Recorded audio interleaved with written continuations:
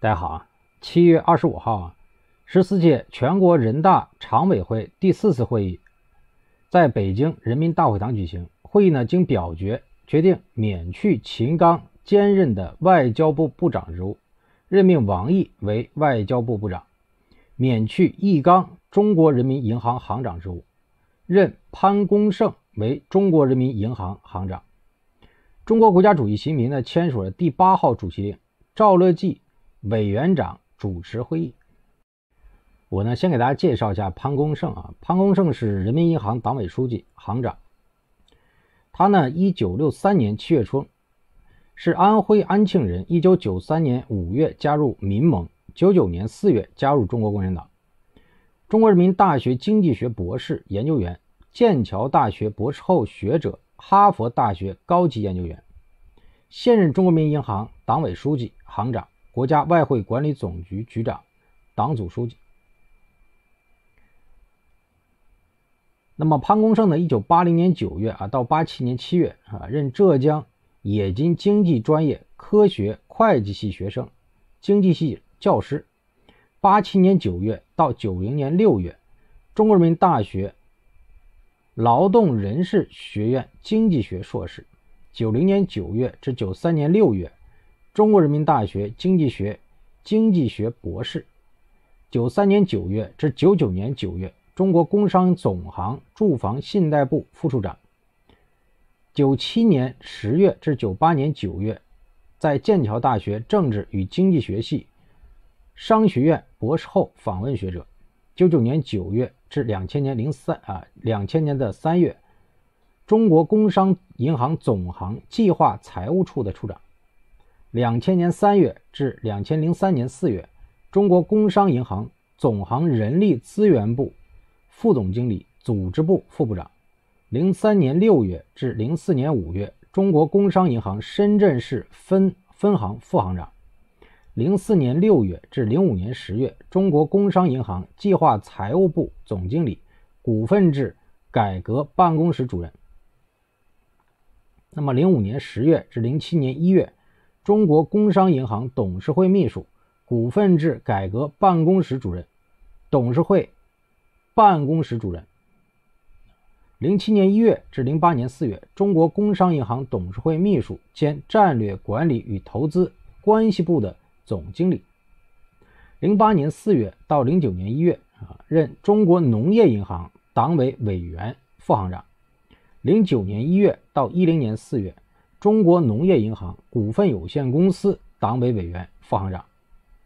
零九年上半年呢，在中央党校学习。一零年四月呢至一二年的六月啊，任中国农业银行股份有限公司党委委员、执行董事、副行长。那值得一提的是，二零一一年的上半年，他呢在哈佛大学肯尼迪政府管理学院学习。一二年六月至一五年十二月，中国人民银行党委委员、副行长。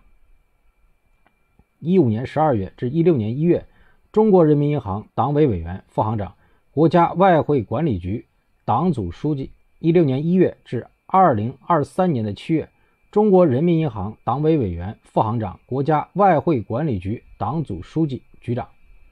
二三年七月，人民银行党委书啊党党委书记、行长，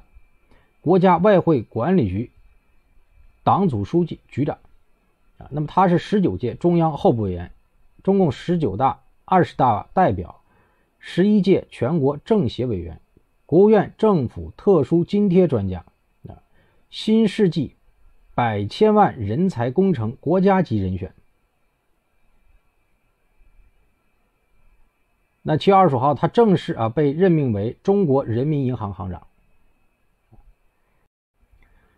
那现在来看呢，王毅呢被任命为外交部长啊，这也是新中国成立以来呢首次啊由前任外交部长再一次担任外交部长。那实际上呢，现在来看呢。新中国只有这个周恩来啊，类似于王毅，担任外交部长，卸任以后再次担任外交部长。但周恩来呢，他当过国务院总理啊，所以和王毅是有区别。那王毅呢是首位啊前任外交部长啊，又重新担任外交部长。所以王毅现在在外交界，实际上他呢已经成为了，我觉得可以左右中国外交政策的一个人，就类似于当时这个周恩来啊。所以大家要理解。那么这个事儿怎么看呢？我先从这个大的啊国家啊为什么要任命潘功胜和王毅担任外交部啊和中国人民银行行长这个事儿，给大家解释一下。那么大家知道秦刚是战狼，秦刚他自己的问题呢，咱先不提啊，以后有机会再说。那么任免秦刚，你看战狼被撤下，王毅是什么呢？实际上你看王毅是温和派，王毅相对比较秦刚这个战狼派，他相对温和。那么在外交政策上呢，换下战狼秦刚，换上一个相对温和的王毅。那么，在中国啊，人民银行就是中国的央行，换上亲美的潘功胜。那大家知道潘功胜是亲美的，他在哈佛大学留学啊，他至少他不反美。那么现在就很有意思啊，所以从中美关系来看，那中国的央行行长，他这个任命任命之前的一个月，美国的财政部长耶伦访问了北京。看懂逻辑没有？耶伦访问了北京，美国方面啊，跟中国进行了秘密的沟通。耶伦访问完以后呢，基辛格也来了，美国对中国进行了密集的访问。我之前说过啊，中美已经达成了某种秘密协议。那么我从这个事情啊，我个人我谈谈我自己的看法，中国已经决定跟美国交易了，这就是个非常明显的信号。战狼撤下来，至少外交外交层面不再像过去一样啊反美了。啊，保持一个相对中立，特别是俄乌战争这个问题上。那么经济上、财政上换上一个美国喜欢的人，潘功胜，也向美国发出一个明确信号，就中国已经接受了美国的条件。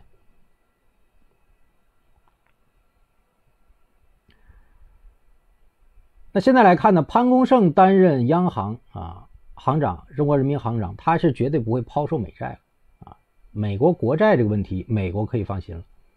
那也就是说，中国方面实际上已经和美国达成了某种协议，具体内容没人知道。但是你从这个情况来看，美债的问题，美国已经踏实了啊。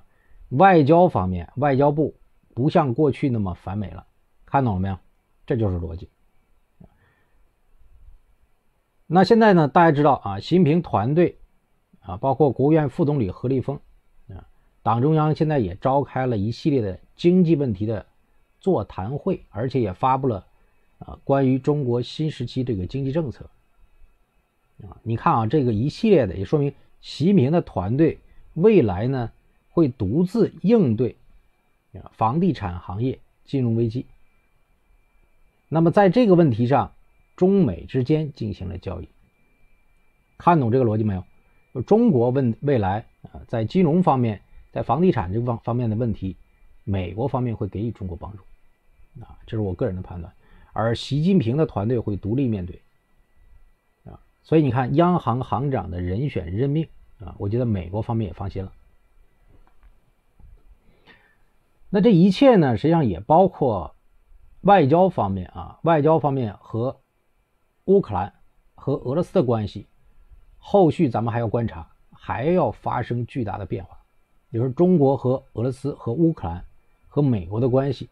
啊，可能面临着新的变化。现在来看呢，央行行长啊和外交部长这个变化啊，说明中美私下已经达成了共识。那么现在不清楚啊，这个。呃，中国向美国索取的某些汇报，啊，那中国满足了美国的要求，中国向美国索取什么，现在不知道，但是未来可以看美国的行动，啊，你通过美国的行动你就知道了，中国能从美国那儿得到什么，呃，那么现在呢，俄罗斯和美国在乌克兰战场大打出手，中国这个时候呢缓和和美国的关系，俄罗斯会非常紧张，所以下一步要看中国。啊，特别是王毅为代表的在约翰内斯堡，在这次金砖国家峰会上和俄罗斯的互动啊，怎么样安抚俄罗斯？大家可以仔细看啊，这是今天我的观察。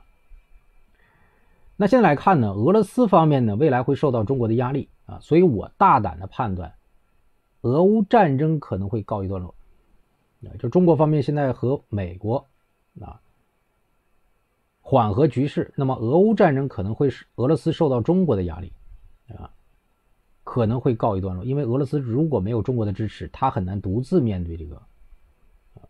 美国，独自面对北约。俄罗斯可能会同意坐下来谈啊，达成某种协议。这是我大胆的我个人的猜测。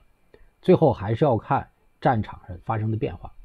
啊，因为这里边有变量。啊，有反对力量，反对力量如果到时候有一些突发事件的话，你这个协议也很难达成，所以还是要看各方的反应。但是我大致把这个方向啊，大致把这个方向啊给你捋一下，就是向着这个方向来的啊。战狼后退啊，战狼撤退了，秦刚撤退了，把王毅推上去了啊，相对来说温和。那么人民银行行长不反美的。啊，美国非常高兴，潘功胜绝对不会抛美债，美元霸权稳住了，啊，美国会很高兴。中国下一步从美国那儿获得什么？啊，我刚才说了，我刚才说了一个是中国在房地产问题上，啊，财政政策上，啊，国内国际这个环境上，哎，美国可能会配合中国。另外一个很有可能是台湾问题，啊，台湾问题美国会配合中国。我觉得这一点。啊，包括基辛格，包括财政长耶伦，和中国应该已经谈了，所以中国才同意。啊，这是我我大胆的猜测啊，因为没有人能看到中美达成那个协议，没有人知道，只能未来咱们再观察。所以台湾人可能被交易了，啊，我大胆猜测一下。那么现在俄罗斯非常紧张啊！我之前说过，俄罗斯非常希望知道中美到底有哪些协议啊。但是你从秦刚啊，呃，撤下外交部长这个职务啊，人民银行任命潘功胜，我觉得俄罗斯心里大致就已经明白了，后面要普京出马了啊，就普京和习近平的私人关系啊，才能扭转。你说哦，未来俄罗斯方面要发力了。啊，下一面下一方面，咱们要看俄罗斯和中国的互动，就中国能从俄罗斯那里能拿到什么？你记住啊，这个外交啊，大国之间的交往就是这样啊。我没有必要为了俄罗斯我反美啊，我不希望俄罗斯倒，但是我也不会反美。我和美国之间也会有利益啊，我们可以谈啊，但是我跟美国之间谈成某些内容不会违反。我在欧亚大陆对俄罗斯保持一种稳定这个态度，啊，就不会让美国肢解掉俄罗斯，但是仅此而已。中国和美国的合作啊，也要看俄罗斯和中国之间的合作，这叫三国啊三角关系，所以这个非常微妙的啊。那么现在俄罗斯只能积极的寻求和中国的合作，来获得更多的中国的好处。你看，这样中国的话。我昨天节目说过啊，中国现在争的是路线啊，就是对美路线。那么现在来看呢，中国方面和美国方面达成了协议，中国的路线现在越来越清晰了，啊，中国现在这个路线越来越清晰了，也就是说，俄乌战争可能会告一段落，而中国和美国的关系可能会进入下一阶段，啊，那么现在来看呢，实际上美国也在发挥自己在中国的影响，积极的在发挥美国的作用，啊，这个太清楚了。所以，俄罗斯现在下一步很有可能也会积极的发挥俄罗斯的影响，啊，咱们再观察，啊，最后呢，我想说啊，虽然中国呢和美国达成了某种协议，啊，但是中美这个对抗不会结束，中国对俄罗斯的支持也不会结束，啊，因为中国是绝对不希望美国肢解掉俄罗斯的，所以未来中国和俄罗斯的合作还会继续，啊，那么在经济领域，中国和美国的合作也在扩大，啊，所以现在来看，中美。中俄互惠互利的发展，未来是大的趋势啊。那大家知道，我是支持欧亚大陆联合、欧亚大陆崛起的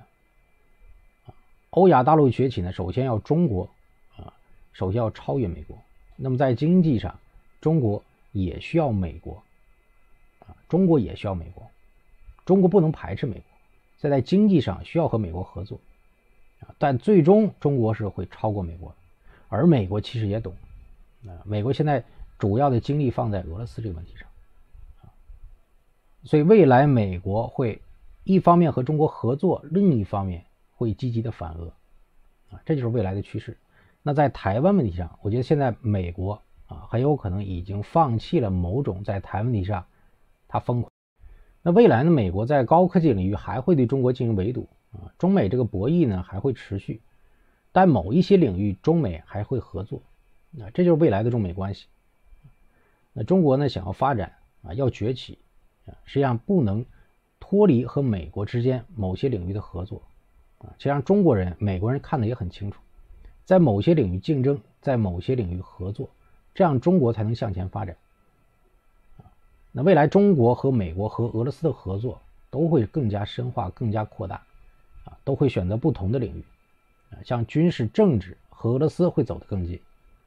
像经济啊，像金融，未来也会扩大和美国的合作，另外也会反制美国对中国的围堵，啊，特别是芯片、高科技领域，这就是中美啊，还有中俄关系，我会持续关注，后续有更多消息啊，我也会第一时间给大家分享。